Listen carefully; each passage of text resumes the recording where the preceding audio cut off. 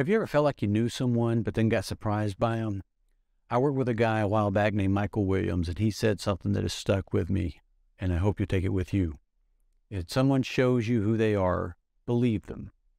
Generally speaking, leopards don't change their spots, and I'm not saying don't give people a second chance. However, when someone demonstrates a behavior, says something, does something that causes that little voice in your head to go, hmm, generally speaking, you should believe them.